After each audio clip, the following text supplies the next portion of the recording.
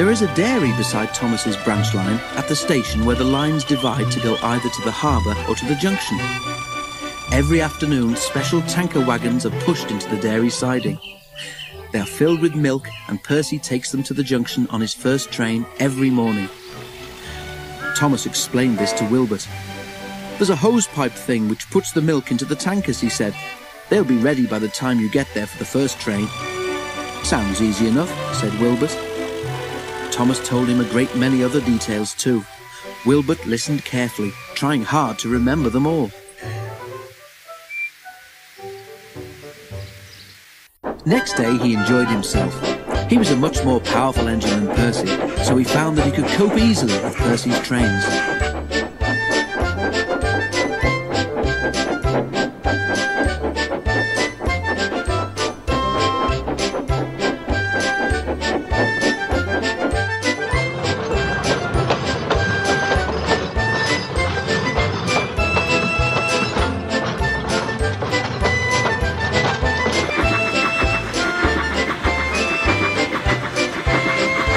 Behaved well too, which a help. He's strong, he is, they muttered to each other. Don't upset him.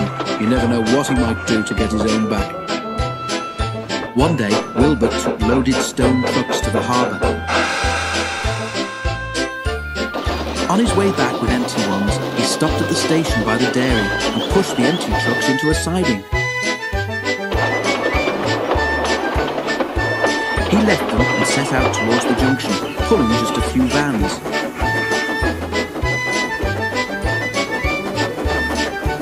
Right, he thought happily, I'll leave these vans at the junction and bring the empty tankers back. Then, when those are put on the dairy siding, I take the stone trucks onto the top station. They met James at the junction. James knew who Wilbert was, of course, and asked how he was getting on. Wilbert chatted excitedly about the jobs he'd been given to do that day.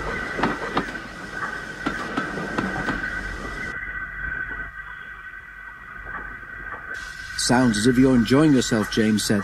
But it's best to take things slowly at first, and he puffed away.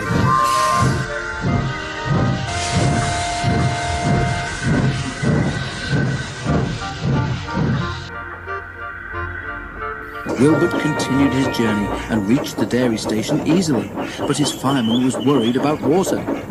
We should have filled up at the junction, he said, but you were busy chatting to James. Never mind, we'll get water here.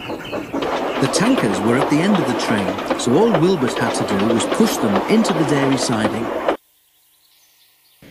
Then he drew forward and stopped beside the hose pipe.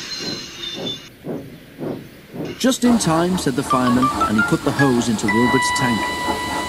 As he turned the tap, the driver spoke to him. The fireman went to reply, but when he returned, he found that Wilbert had stopped at the wrong hose pipe. His tank was full, but not with water, with milk.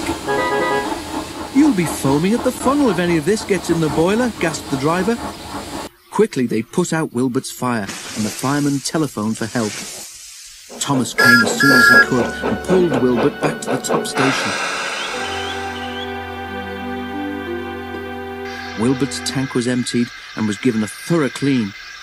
Next morning, he was quite all right again.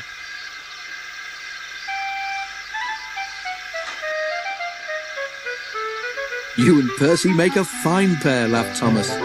He had the porridge, and you had the milk.